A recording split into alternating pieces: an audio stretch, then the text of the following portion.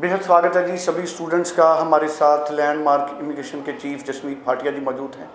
आज जसमीत जी से बेहद ख़ास टॉपिक पर बात करने वाले हैं।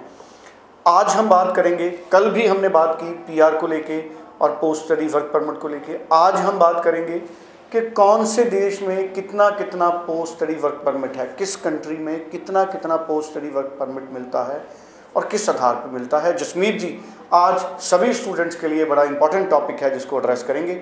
जसमीत जी हमारे साथ मौजूद हैं nine zero four one three nine zero four one two. आप देश के किसी भी हिस्से से इस नंबर पे फ़ोन करके जसमीत जी से बात कर सकते हैं और अपनी फ़ाइल को ऑनलाइन मूव कर सकते हैं। Jasmeet ji welcome hello everyone Jasmeet ji post study work permit या जो पोस्ट ग्रेजुएट वर्क परमिट जिसको हम बोलते हैं बहुत सारे स्टूडेंट्स को क्लैरिटी नहीं है। मैं चाहूँगा कि पूरी क्लैरिटी करिए कि किस कंट्री में मेजर कंट्री में किस किस तरह से पोस्ट स्टडी वर्क परमिट मिलता है। सो so, जैसे हमने लास्ट शो में डिस्कस किया था कि हमें क्लैरिटी होनी चाहिए कि जिस कंट्री में जा रहे हैं हम वहाँ पे कितना पोस्ट ग्रेजुएट वर्क परमिट मिलेगा कैसे मिलेगा और उसके लिए हमें कितनी पढ़ाई करनी पड़ेगी। एंड अगर हम वो पढ़ाई कर लेते हैं तो हमें पीआर कैसे मिलेगी? सो so, हम आने वाले सारे शोज़ में ये डिस्कशन करेंगे।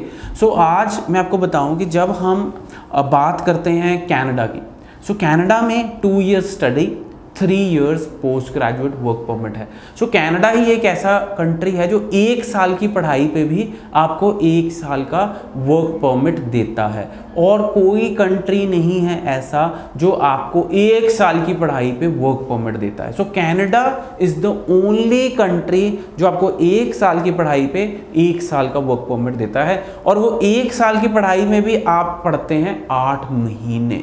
तभी हम बोलते हैं कि दो साल की पढ़ाई में आप पढ़ते हैं सोलह महीने। सो so, 16 महीने की पढ़ाई क्योंकि एक साल में टू सेमेस्टर्स हैं और एक सेमेस्टर होता है चार महीने का। सो so, आठ महीने की पढ़ाई पे आपको मिलता है एक साल का वर्क परमिट और 16 महीने की पढ़ाई पे आपको मिलता है तीन साल का work permit which is the easiest option when you are going abroad अगर हम बात करते हैं ऑस्ट्रेलिया की bachelor degree is a must अगर आप बैचलर डिग्री करेंगे तो आपको मिलेगा दो या चार साल का वर्क परमिट अगर आप मास्टर डिग्री करेंगे, तब भी आपको मिलेगा दो या चार साल का work permit depending upon the state you are going to depending upon the area you are going to और यूके की बात करते हैं बैचलर्स या मास्टर्स तभी आपको मिलेगा वर्क परमिट नहीं तो नहीं मिलेगा कोई भी वर्क परमिट यूएसए की बात करते हैं two years associate degree two years work permit four years bachelor degree two years work permit पर उसके अंदर है कैच कि अगर आपका कोर्स स्टेम में है, तभी आपको मिलेगा वर्क परमिट अदरवाइज़ आपको स्टे बैक ऑप्शन नहीं है। और यूएसए में हम पोस्ट ग्रेजुएट वर्क परमिट नहीं बोलते हैं उसे, हम बोलते हैं OPT optional practicum training so students ये जो छोटी छोटी चीज़ें हमें पता होनी चाहिए बिकॉज़ अगर आर्ट्स वाला बच्चा विदाउट एनी साइंस सब्जेक्ट पढ़े या कंप्यूटर्स पढ़े यूएसए में वर्क परमिट नहीं ले सकता। ये क्लैरिटी होनी बहुत ज़्यादा ज़रूरी है। न्यूजीलैंड में अगर आप डिप्लोमा करते हैं आर्ट्स और business student no work permit आपको बैचलर डिग्री कंपलसरी है। जो इंजीनियरिंग वाले बच्चे हैं जो हेल्थ वाले बच्चे हैं वो ले सकते हैं वर्क परमिट न्यूजीलैंड में। सो so, हर कंट्री का है डिफरेंट क्राइटेरिया जर्मनी में भी बैचलर्स और मास्टर्स करनी ज़रूरी है। पोस्ट ग्रेजुएट वर्क परमिट के लिए। सो बैचलर करेंगे तो डेढ़ साल का वर्क परमिट और दो बार एक्सटेंड हो जाएगा यानी टोटल वर्क परमिट मिलेगा ढाई साल का। मास्टर्स करेंगे डेढ़ साल का वर्क परमिट एक्सटेंड हो जाएगा ढाई साल का। सो so, स्टूडेंट्स एक क्लैरिटी लाओ। मेरे पास ऑस्ट्रेलिया की काउंसलिंग आती है। बच्चा कहता है सर मैंने ऑस्ट्रेलिया जाना है। मैं उनको बोलता हूँ कि आप कौन से कोर्स में जाना चाहते हो? सर ये तो पता नहीं मेरा दोस्त गया था ऑस्ट्रेलिया इसलिए ऑस्ट्रेलिया जाना है। क्यों? क्योंकि मेरे को वहाँ जाके सुनने में आया कि बहुत सारी आजकल पैसा ज़्यादा मिल रहा है और जॉब्स बहुत ज़्यादा हैं। पर वर्क परमिट कैसे मिलेगा? ये नहीं कोई सर्च कर रहा। वर्क परमिट तभी मिलेगा अगर आप बैचलर डिग्री करेंगे। डिप्लोमा करके कोई भी वर्क परमिट नहीं मिलेगा ऑस्ट्रेलिया में। डिप्लोमा करके कोई भी वर्क परमिट नहीं मिलेगा यूके में।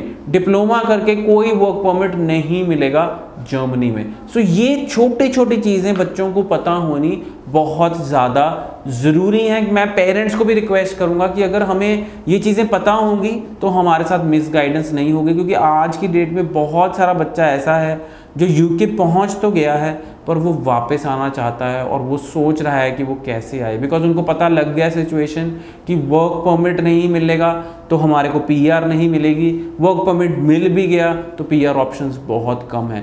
सो स्टूडेंट्स एक सही कंसल्टेंट चूज़ करना बहुत ज़्यादा ज़रूरी है, ना कि सिर्फ़ विदेश जाना ज़रूरी है। बिल्कुल जी, बड़ी अच्छी इन्फॉर्मेशन जसमीत जी ने शेयर की है। मुझे लगता है इस शो को, सभी स्टूडेंट्स को अपने दूसरे दोस्तों के साथ ज़रूर शेयर करना चाहिए। Nine zero four one three nine zero four one two, इस नंबर पे आप और क्लैरिटी लीजिए फ़ोन कीजिए। हर रोज़ शाम को साढ़े चार बजे लाइव शो है, आप उसमें बात करिए। ऑनलाइन भी अपनी फ़ाइल मूव कर सकते हैं। Email info at landmark immigration dot com thank you so much thank you so much